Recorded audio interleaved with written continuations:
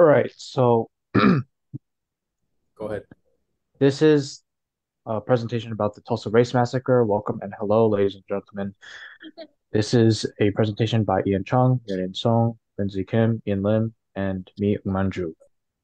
This is a tragic event that happened somewhere around after World War One and World War Two.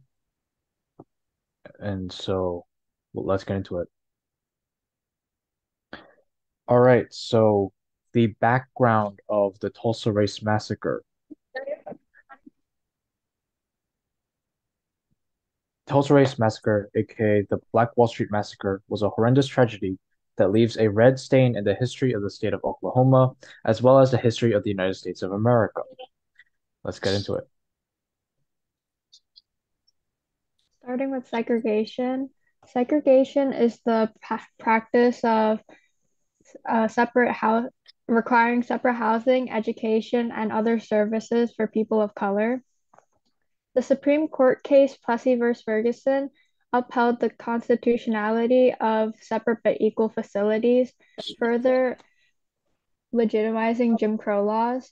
This included poll taxes, literacy tests, and grandfather clauses, which were implemented to disenfranchise African American voters.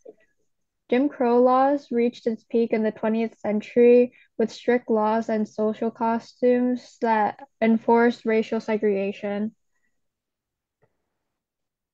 I'll be talking about the KKK, which is a white supremacist group that arose in Oklahoma after the Civil War. And this group um, targeted mainly the Black population and other minorities in Oklahoma.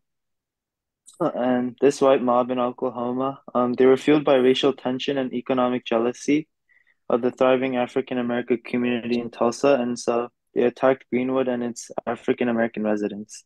And some intimidation methods they used on them were lynchings, bombings, murders, kidnappings, torture, and more. Um, so more about Tulsa.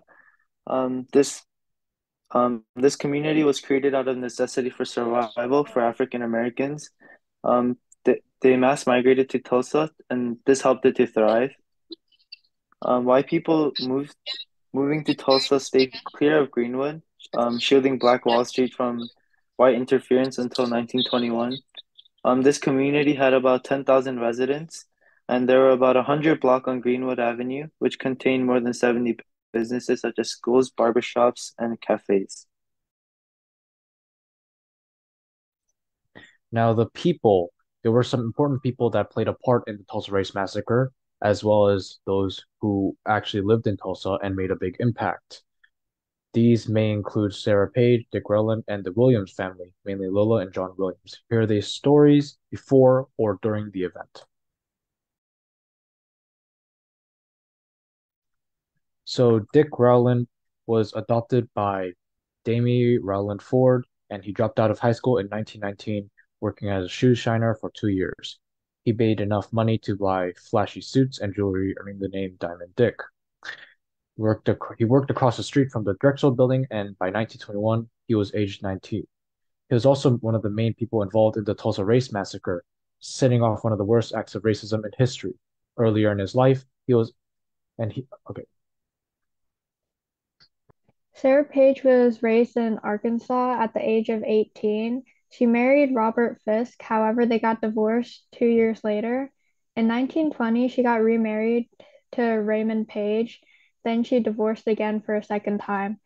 This actually was not good for her because of her account because her accountability was very low to due to social standards and ideas at that time. When asked about the truth, not many believed her, and some ignored her claims that Rowland did not sexually assault her. She worked as an elevator operator in Tulsa, where she indirectly started the massacre. So next up in line is Lola and John Williams, and I really believe that they encased the spirit of the Tulsa of the Tulsa Black community, and they were one of the first people to settle in Greenwood, creating the community and setting up the foundations as a whole. And as Jim Crow laws created segregation, they took advantage of this, and Black Tulsans, as they weren't welcomed in businesses, Um, so black entrepreneurs such as Lala and John Williams took advantage of this and created businesses that catered toward these um black the black community. So John Williams owned an auto repair shop called East End Garage on the wall, Black Wall Street that catered towards both black and white people.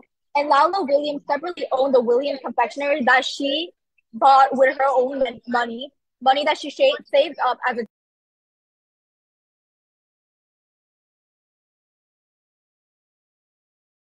Hello?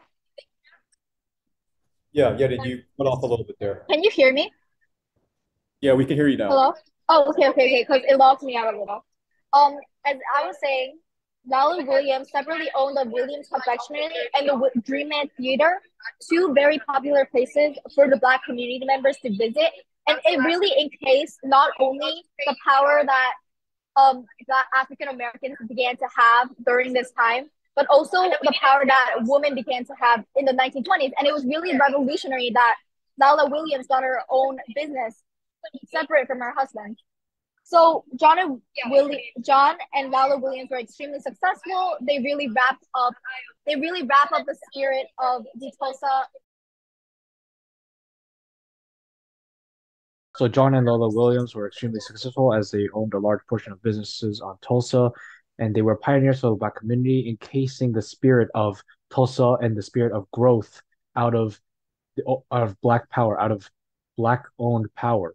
Nothing with white interference. Now let's move on to the actual event.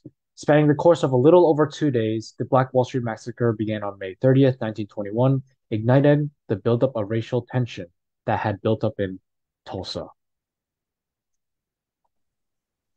On May 30th, 1921, a 19-year-old Dick Rowland worked in a shoe shine parlor. When he went to the bathroom at the Drexel office building, taking the elevator up, the elevator operator, Sarah Page, yelled as he tripped and accidentally and fell, accidentally grabbing her arm. He ran away frightened. Eventually, people found out about it and arrested Dick Rowland. Though we don't know what actually happened, that is the most popular theory on what happened. And May 31st, 1921, uh, police police arrested Dick Rowland for the alleged sexual assault against Sarah Page by the evening, an angry white mob gathered outside the courthouse demanding the sheriff to hand over Rowland. Sheriff William McCullough refused, and his men barricaded the top floor to protect the black teenager. The same evening, a large group of armed black men went to the courthouse to guard Rowland and were met by over a thousand white men, who some were, were armed. Shots were fired, and the hours that followed were deadly and destructive. Um, so adding on, um, a white mob, including some members of the white supremacist group Ku Klux Klan, descended upon the Greenwood district and they looted, burned, and destroyed homes, businesses, and other places of worship. And this attack resulted in the destruction of approximately 35 city blocks out of the 100 and this included over 1,200 homes, numerous businesses, churches, schools, and the death of hundreds of other African Americans. So as we see, this tragic event not only had short-term and will not only have short-term and long-term effects, but we will see just how devastating these were. The Tulsa Race Massacre was both economically destructive as it was physical. Greenwood Avenue and the Greenwood District was blackened with burned buildings and stained red with blood. However, there were also long-term effects that stemmed from this tragedy.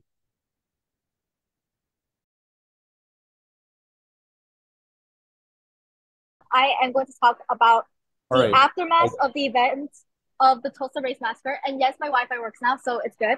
Um, this is the aftermath of the Tulsa Race Massacre, and as discussed before, the Tulsa Race Massacre caused a lot of deaths. And there's no known certain amount of people who have died during the Tulsa Race Massacre, but like it's sure that no one was brought to justice. The government made it really hard for the citizens to rebuild as they issued zoning ordinances, and funding went to majority white neighbors for reconstruction.